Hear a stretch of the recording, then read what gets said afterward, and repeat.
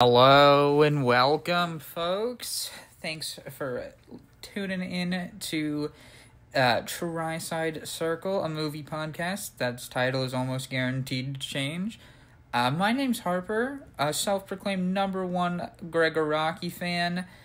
Um, I don't think there's really anything else I need to describe about myself. Um, but yeah, so I, you know, I talk about movies all day, uh, every day, pretty much by myself and in my head. So I said, hey, I'm gonna do it with a microphone this time. So here we are. Anywho, um, for today's topic, uh, I want to talk Jawbreaker, um, a film by Darren Stein from 1999. Great film with one of my favorite actresses, Rose McGowan. Uh, but before we kind of get into that, um, I just want to I just kind of want to talk a little bit more about you know what's gonna what this podcast is all about. But yeah, we're gonna you know hopefully um it's always gonna be unscripted, so I'm gonna definitely be making a lot of pauses and dumb dumb little breaks. So forgive me for that one. I'm also still figuring out if I need to do anything really. I hope not. I'm just gonna upload a bunch of this and not edit it like almost at all. So yeah, and hopefully that's fine. uh, but if uh, not, I don't really care. But we're gonna anyway, we're gonna talk about some movies. We're gonna talk about you know reviewing them. We're gonna talk about what's good in them, and then we might uh, get into some some some juicy stuff about the film industry and you know what's just what's hip happening around on you know what's on the block as they say these days. Anyway jawbreaker. All right so i just saw jawbreaker for the first time i think yesterday actually. Um and oh my goodness guys. It is so it is so genuinely one of my favorite movies of all time and it's it's not not even funny uh, it's not my favorite movie of all time. There's uh, but they share they share share an actress, which is all all I'll say. Um, but yeah, so Jawbreaker. Uh, as a little bit bit of a background, um, so Darren Stein. Um, it, this is his second second full film. Um, he had another film called Sparkler in '97, I believe. Uh, yeah, '97 and it got okay reviews. It's not there's nothing super great, but it um you know a lot of people like it. So that's you know he had a he had a good first hit, and look at him go. He's got a second film now, which um is it's kind of up in the air what uh, some people think of it, uh, especially if you just look at Letterboxd Like it has a three point four right here. Um, so I mean, it depends on who you are, but there's also a noticeable a big noticeable uh, little line there. And it's also it's the five star line there which um i'm just saying there are people who enjoy this movie so i'm not the only one. But i will be the advocate for this movie because it, god it's so amazing and i love it very much. Anyway uh yeah so darren stein uh, his second full feature um uh, and you know just another side tangent about Darren Stein. He has a uh, his most recent picture is called GBF, and um, that's the, the I knew of that movie uh, a, a long time ago, and I think I watched it. I I did watch it actually. I wasn't paying attention, and this was like kind of before I like was paying super close attention to films and stuff. So. I want to I want to give that movie a go, but I remember I hated that movie. Um so so there we go. Um, anywho, uh, back to Jawbreaker, back to the good film. Um, uh, you know, so our synopsis is honestly, it's just Heather's, uh, and that's okay. Uh, if you guys also hear cars splish splashing some water outside my window, I'm sorry. Um, I'll, I can maybe try to edit that out, but who knows?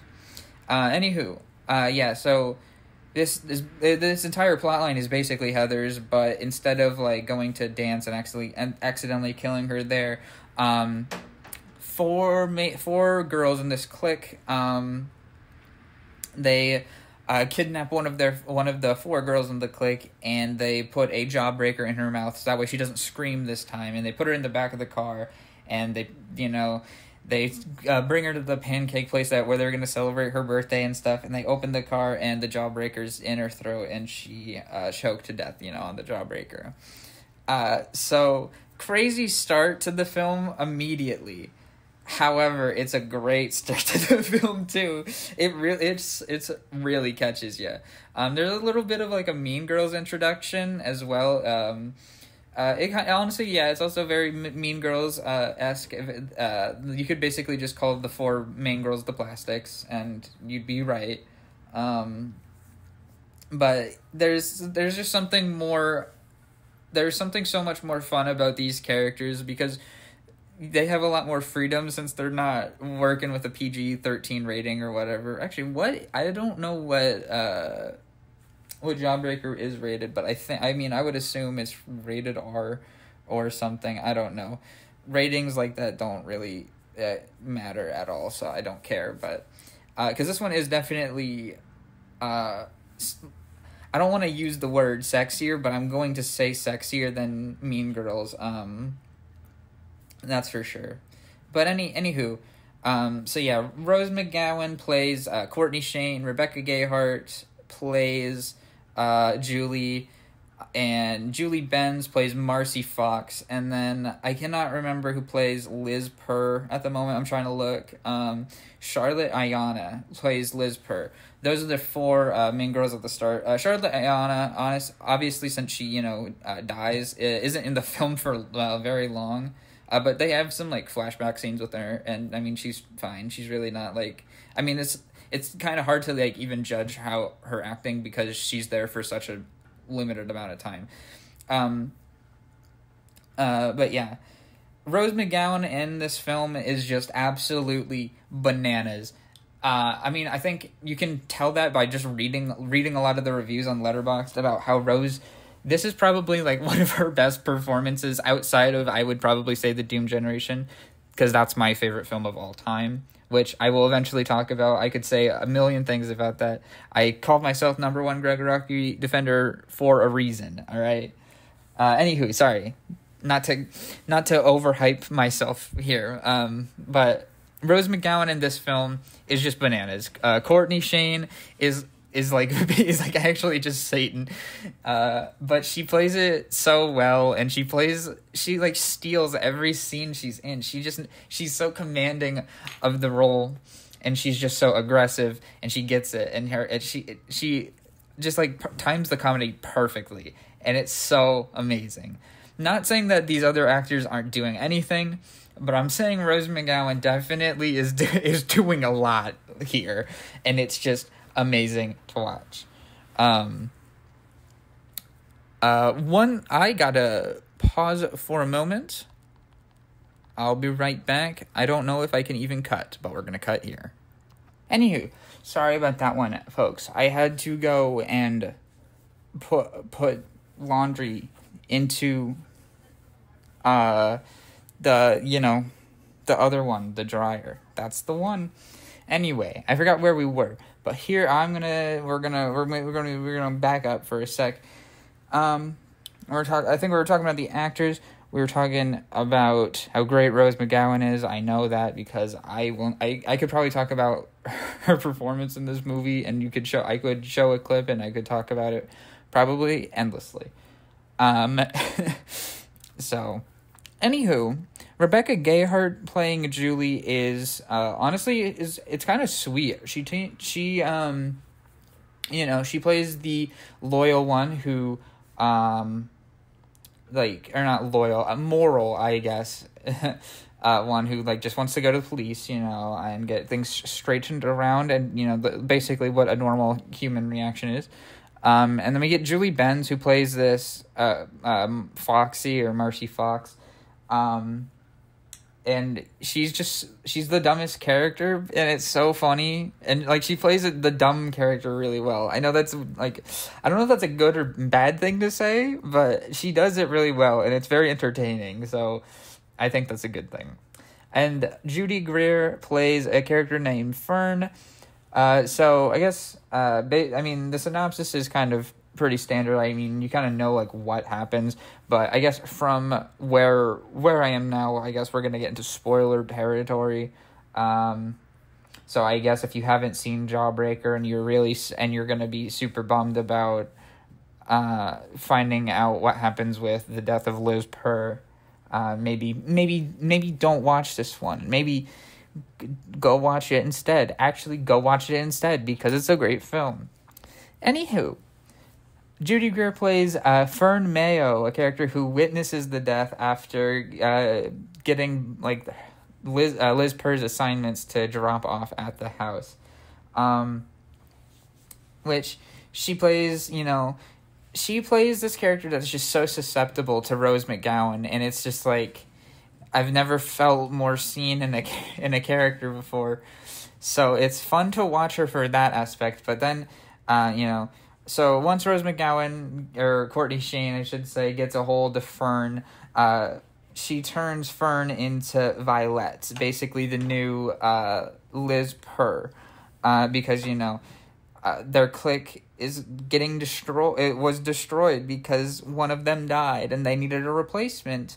And because Fern saw, you know, she can now be the replacement. So she becomes this whole new uh, persona, Violet, who is super fun to watch. Um, I'm not gonna lie, it's it is very funny to think to just I love I love movies with absurdity, and this movie is very absurd. Uh, but the fact that she just like comes to school in this bright red ass fucking sports car and like parks like right on uh, right at the front of the uh the front of the school and shit is just really funny to me. Um I don't know. It's just that some of the situations that they set themselves up for are very are, are very entertaining, and I think that's I think that's uh, I think that's epic sauce, uh, as one could say. Um, but yes, Judy Greer play playing Fern Mayo and Violet is just so so fascinating. um, Courtney Shayne, like I said, is probably by far my uh, my the best character in the film. Uh, we also get uh, some other characters, uh, like the jock. I don't even really remember his name. That's how like little of an impact the jock character is. Uh, Dane Sanders um, is his name. It's and he's basically you know just uh, uh, Rose McGowan's uh, fuck buddy essentially. Like I mean that's all. Uh, she was about. She was actually gonna plan. Uh, you know plan. She I think she had sex in the bed, in Liz Purr's bed, so that way she can incriminate him into going away. Uh, you know, and then eventually, uh, towards the end of the movie, you know, prom comes and all this comes to light with a spectacular explosion of, uh, you know, Courtney, uh, getting exposed essentially through a little, uh, like one of those little CBS cards that you can flip open and record a message into, uh, like one of those dealios and it, it captured her saying I killed I killed Liz, you know, and it was like a, a, big shocker moment to everybody. And there's a and the scene where she just walks out and is getting like shit thrown like or not shit. I guess it's just like corsages from like all the prom stuff, you know. Uh, you know, and she's running out and it's like this slow kind of like it's like it's so slow and it's very silly because it's so slow of her walking through and then it cuts back to the people throwing corsages and then it cuts back to her face and she's like trying to like in the scene she like stretches her face a little bit to like make her more like I guess ugly quote unquote, but she's so unbelievably pretty. like it's like it's not even like a joke. Like she like stretches it and like I just am like god, you are such a beautiful lady. Uh anyway, sorry. This is getting off topic a little bit. My uh you know, the the romantic in me is coming out, I suppose. Anywho, um, uh, you know, I want to talk about, I guess, some other characters. Like, uh, like, like I said, Dane Sanders wasn't really like the best supporting character, I guess. Um, Pam Grier though, uh, plays uh, Vera Cruz, the detective, and I really enjoyed her performance, honestly. Uh, I know it's a little bland, but it kind of works because playing a bland detective is kind of funny, I think. I think it I think it kind of works uh, I think it kind of works because most detectives like innately have charm, but like playing a detective with like little charm kind of comes off as appealing sometimes. And she does it well. Um and she just says some funny things in the detective's room and uh that's that's I mean, all you need is a couple good scenes and you're you're golden. Um but yeah, I think she does a great. Uh, I mean, I think that's pretty much most of the main cast. There's a few others. Uh, we got like like you know like some of their parents. Uh, Zach Tartak, um, who I can't even remember. I think he's just another jock guy. If I if I'm remembering correctly. I mean, like, you know, and they don't they don't play. Uh, you know, they don't. There's nothing mo- most of the focus is obviously on the four characters, especially uh, Rose McGowan and uh, Judy Greer is Courtney and um, and um, uh, Violet. And there's also like you know there's um uh all right oh wait I'm stupid. Zach is uh the love interest for Julie right? So this is the other thing that I was just about to get into actually. So yeah uh, there's a subplot in here that uh, uh Julie has a falling out with you know the group because she's the one the one that wants to be moral, and she starts dating the head of the act uh, of the play. And I think it's Zach Tartak. I thought his name was Shane in the film, but I guess I'm dumb. Yeah, I guess uh, I guess so. His name's Zach, I guess. um, but anyway, uh, yeah. So they, you know, they're uh, she'll eventually confide in Zach, and you know it'll lead to what hap- happening in the movie and stuff. And he'll put he'll put the thing over the loudspeakers that's saying, uh, "Rose killed uh, Liz," or Courtney killed Liz. Sorry, Rose Rose McGowan. Every time I just see her, I can't think of her as a character. I just think of her, as herself because I I know her so well outside of acting from her uh, from her activism, uh, and just like those types of interviews that she's had. So I I very much don't see her as a character anymore. I see her as herself, just playing you know characterizations of herself, and she's just so fantastic. Everything I've seen her in so far has just been f- uh, absolutely phenomenal. I mean, it also helps that they were Gregg Araki projects, but but uh, honestly, going back to Jawbreaker, it very much kind of has. Um, I wouldn't say a Gregg Araki vibe. I would say uh, more not. I wouldn't say punky either, but like light punk because it's very it's very edgy i would say. It's not like i said it's not it's not mean girls because it's a little edgier than mean girls but it's not like it's not as edgy as something like uh, white chicks i would say. It's kind of like a good i guess this is a very weird like i'm um, like weird way to categorize it but um uh uh, if we're going from similar films, uh, uh, we have Heather's, Mean Girls, The Duff, Booksmart, She's All That, and uh, Do Revenge. I have only not seen She's All That. This is on Letterboxd, by the way. I'm going to be using Letterboxd as a way because Letterboxd just helps me talk, and it's pretty to look at. Anywho, Heather's is an obvious inspiration just because you know it like friends accidentally killing a, a friend they had that's in high school. That's just Heather's. I mean, they kind of Heather's kind of just did that first, you know. Um, and it is very, and it's also it's kind of reminiscent of Heather's in a way that, um, uh, oh goodness, uh, Rose McGowan kind of uh like encompasses Winona Ryder as um, uh Veronica like a little bit. Um, I feel like if you did like a character analysis between Courtney Shayne and Veronica, there's there's a there's a fun amount of similarities, maybe not a great amount, but like a good amount of similarities you could link to each other. And then you know, Mean Girls, as I said, because just like the plastics idea and like you know, uh, making it about segregation in high school, I suppose. The Duff because the Duff is basically just Mean Girls uh, Booksmart because I don't I I mean book smart I could kind of see. Um, Booksmart is I haven't seen it in a while, but I don't really remember much high school aspect. I know it's based on their last day of high school, but I mostly remember Booksmart for its drug scene and its boat scene. So I guess I can't speak to that. I haven't seen in a while. Maybe this is a sign that I should re-see Book, Booksmart. Um, I haven't seen uh, She's All That, but actually, Do Revenge I have seen recently, and um, Do Revenge is kind of, eh, I would say, yeah, it's eh, you could definitely make a case for it being uh, similar to this style, uh, just because it it's very much about you know people just being bitchy in high school and like people taking advantage of it and other people not being so good about it. Also, there's also a character that is already there and gets a makeover and pretends to be a new person at school and do revenge and there's also that in Jawbreaker too. So that's I guess that also I guess that makes sense there too.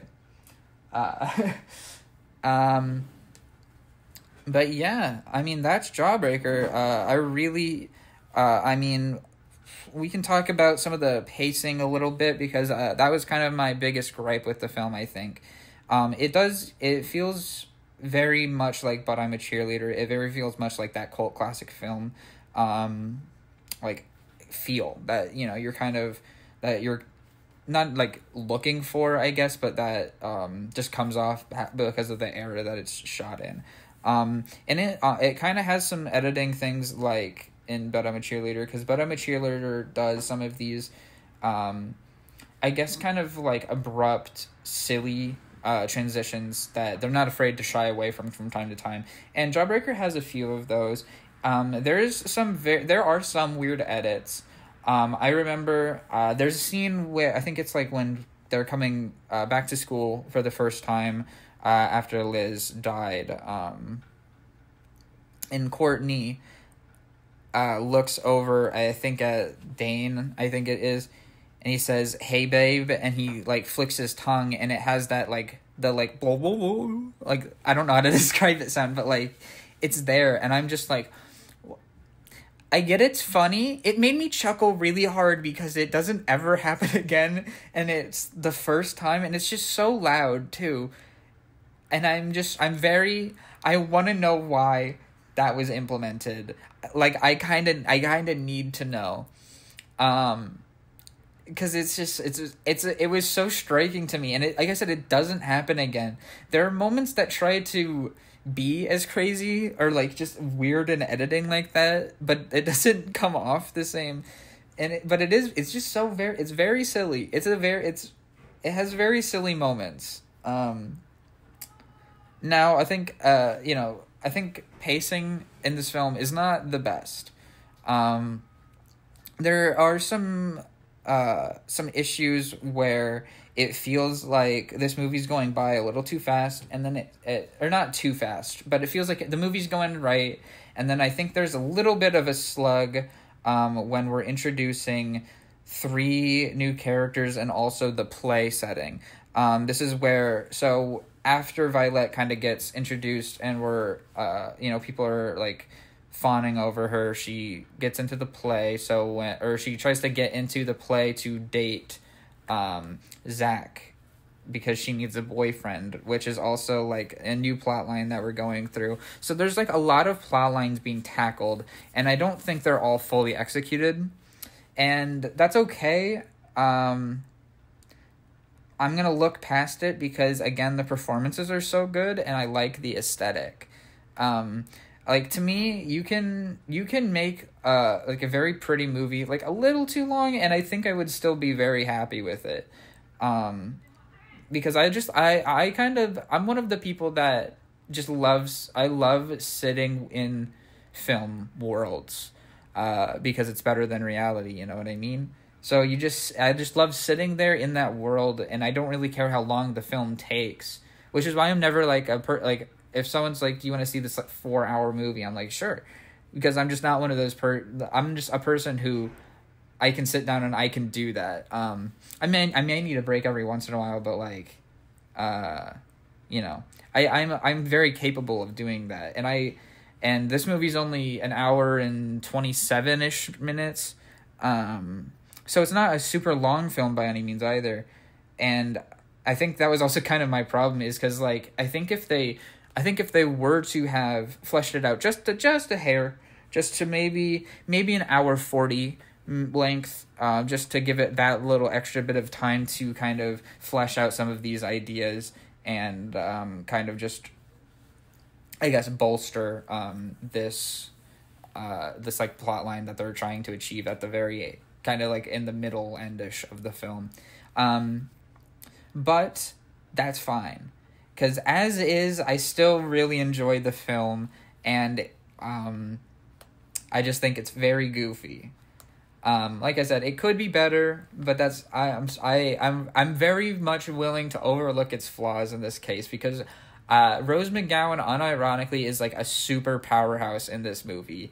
I cannot i cannot stress it enough. I know i talked about it at length already but god fucking damn it is she amazing she's like it's so so so good. Uh like i mean uh, this is maybe her best performance um just because she she like actually is so commanding of like all these scenes and it's, it's great. It's awesome and i'm i love it so much. Um i'm trying to see if there's anything else i want to talk about or put uh, put word in on jawbreaker here before we uh close out to maybe our next segment. Um uh, I do think.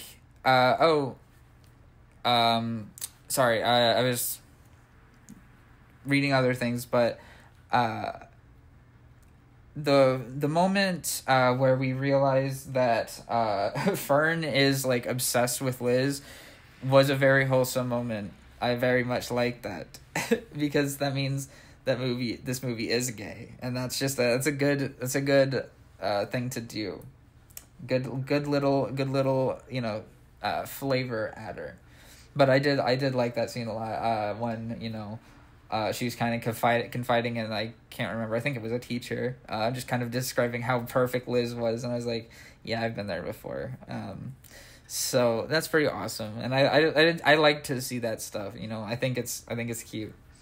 Um. Anyway, um. Um let's talk about some things that have been happening in the film industry. Right now, I'm just going to scroll through Twitter just to kind of see some stuff that's happening. Um, Timothée Chalamet uh, being frontrunner for Best Ask Oscar uh, winner this year, which I've heard is. Uh, I'm super excited to watch The Complete Unknown. Um, uh, actually, they have a they have predicted nominees up. Uh, so I guess you know what? Let's let's let me see what I say. So we get performer and the film, of course.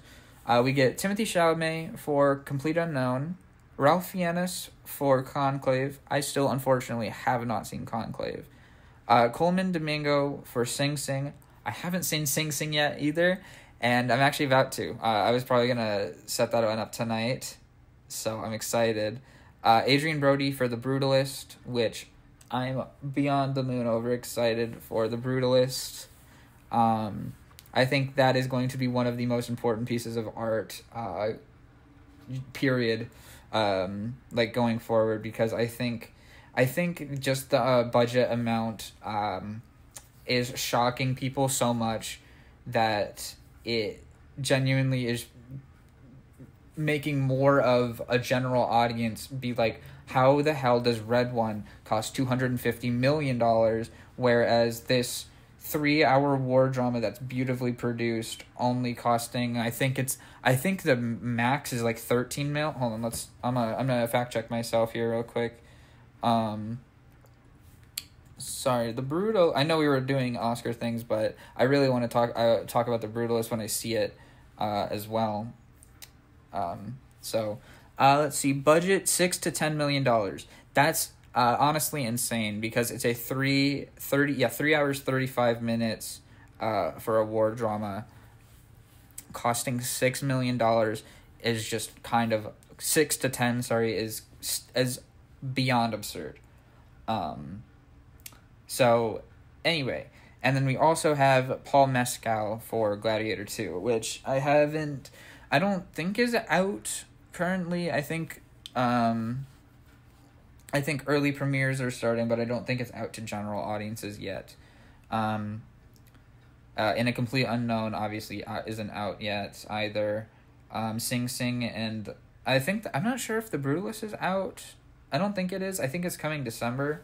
Um, but I I'm okay with this list. There are definitely people that I would have liked to see. Um, uh, one obviously being um, uh, sorry, one obviously being uh, Justice Smith for um, for Owen, and I saw the TV Glow.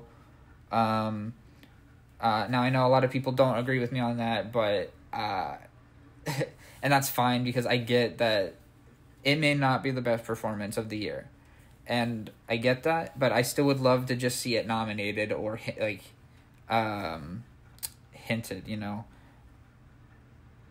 Um, and I would really, uh, I would really just like to see that because uh, uh, I saw the TV Glow as one of the most important films of the year. I think, um, and it you know for a lot of a lot of reasons. Uh, um, it's it's important not only to me as you know as a trans person or anything, but it's important to just the entire trans community. It's been such a eye opener and so um and so just so it's been it's helped so many people realize uh themselves and i think that's i think that's the magic of film in general you know and seeing that and seeing it get so much praise even outside of the oscars and is honestly enough for me. However i would still like to see you know the academy actually acknowledge that that happened and it, this film is something that is worth talking about you know.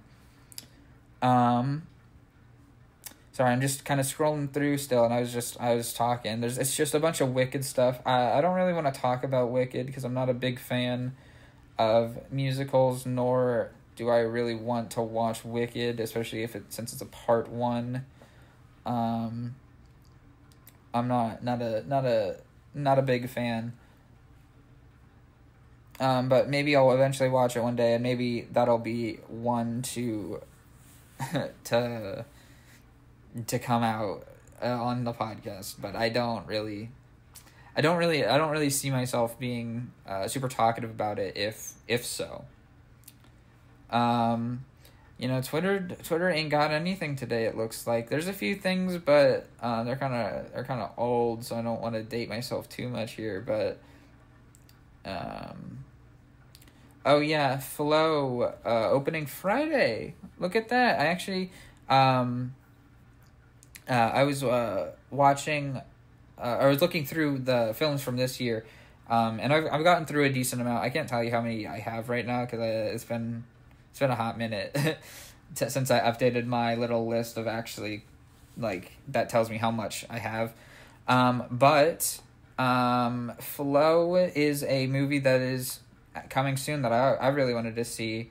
Um, films that I haven't seen yet that I really want to see this year. Um, the Brutalist that you know that's coming out.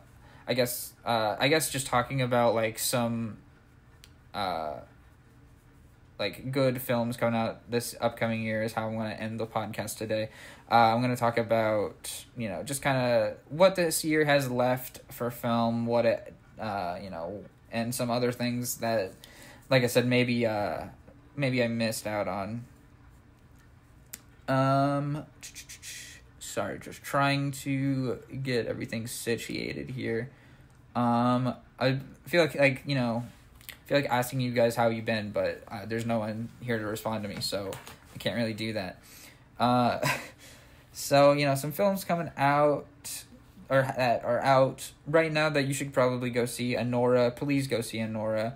Um, I don't know if Smile Two is still in theaters, but I've heard that's some good fun. Uh, I gotta check that out. Uh, Gladiator 2 is coming out in theaters soon, and so is Wicked. I don't remember when they actually drop, but, you know, cool.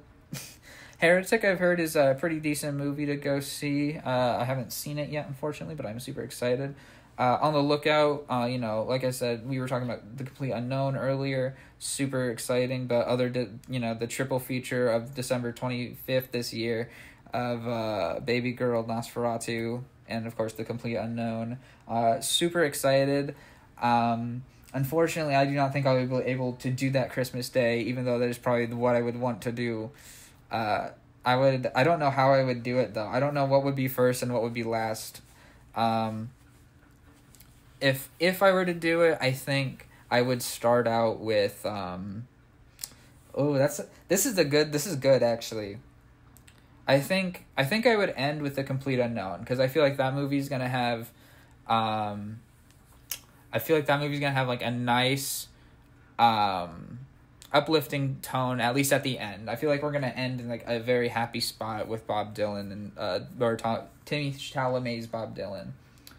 Um, I think that would be the good. I think that would be the best one to end on, and then I think I think to start you would have to do Baby Girl and then go to Nosferatu because I feel like Baby Girl is is a movie that may shake people, it may not, um, you know, but I think it's also supposed to be like secretary, like with Maggie Gyllenhaal. So I think there's supposed to be a really sexy aspect. So I guess um, maybe maybe it wouldn't be a good opener. Who knows?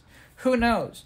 but I think I think that would be the best one because I think that also might just be like the most neutral because I feel like I feel like Bob Dylan's gonna be a hopeful good at the end, and I feel like Nosferatu is just gonna be uh like hell at the end. So I feel like I feel like going from hell and then into Bob Dylan I think is a good is a good transition point. And then I think you know before you enter hell, maybe start with um the uh, I don't know like a I don't know what the term would be, but like the person before Satan. And that in, in this case would be baby girl. that was a terrible analogy, but you know what? I don't care. We're gonna we're gonna stick with it. Uh any anywho, some other films I've been miss I've missed uh so far this year, Oddity and Under Paris, uh Conclave are all films that I actually wanna see. I know Under Paris is terrible, but I've heard it's a bad terrible. Or like a good terrible, I mean rather. Um, so I don't know. Super. I'm I'm very curious about it at the very least. Um, Queer uh, by Luca. I still don't know how to pronounce his last name, so if I'm wrong, uh, I think it's Gua Guadagnino is how I believe it said, uh, but I could be wrong. Uh, Queer is actually coming around. I think it's coming out a day before my birthday, so I'm really excited about that uh, queer, uh, you know, a Luca film right on my birthday with, uh, called Queer. Thanks. Anyway, um, what else? I mean, like uh, you know, I was already talking about the Brutalist, but when that you know that's on the rise, uh, and also Baby Girl, we were talking about a little bit as well, and Flow. Uh, Flow looks like to be a really just like a really wholesome adventure that I'm super excited about. Um, I'm trying to remember some other big things that are uh, coming up that aren't out yet because I feel like I missed. Oh, uh, Night Bitch is one that I'm also excited for. Y2K uh, by oh I think it's Kyle Mooney directing if I'm not mistaken. Yeah, I'm I'm super excited for this movie. I saw that they released um yeah they did they released the um the cast and it looks it looks pretty okay. Early reviews look look okay, and uh, you know, so I'm hopeful. I'm hopeful that Kyle Mooney can f- pull through because even though I haven't seen, um, I know he's not the director with it, but even though I haven't seen him in, um, oh, uh, Brigsby Bear, uh, I'm very excited to see how he acts because I also know he's going to be acting in Y2K, so I'm super excited for that. Um, but yeah, is there any? I'm trying to think of some other big films to talk about before we, you know, before our time comes to an end here. Before for our, you know, to close out our inaugural first episode of pro the podcast. I don't I don't already like the name, so we're already gonna switch it for sure, but I don't know what it's gonna be. Maybe I'll think of a name, maybe I won't. But uh yeah, so if any uh you know if maybe there are some projects that you would like for me to specifically talk about or um you're curious about um or if there are topics you would like to hear about me talk about you know all all of that good stuff uh just let me know put it in the in the comments down there or something. Uh, yeah. Otherwise, you know, uh, hope you guys enjoyed, and if you didn't, uh, you know, uh, I'm sorry. Not my fault though. um, but yeah, so that's where we're gonna end it today. I hope you guys have a good day. I'm gonna go probably watch Sing Sing, and for my recommendation for you guys, um, I'll always I'll always end with a good recommendation. Uh, my recommendation, uh, you know what? It's also gonna be Sing Sing. Go see Sing Sing today. Uh, with Colman Domingo, A twenty four film. Go watch it. I'm gonna go watch it right now. Yeah. Peace out, everyone.